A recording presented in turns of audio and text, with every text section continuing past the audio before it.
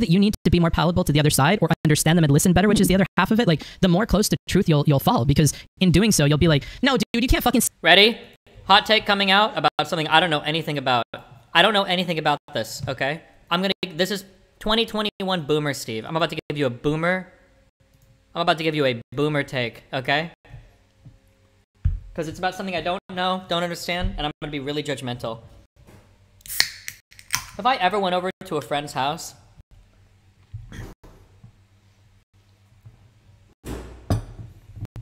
and I logged into their router and I started searching through their internet traffic and I saw that they had anything to do with any of these fucking Hololive girls, I would ghost that friend forever and never talk to him again.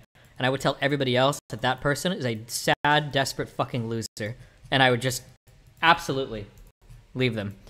I don't know anything about this Hololive shit. This is all I've gathered as seeing it pop up on Reddit every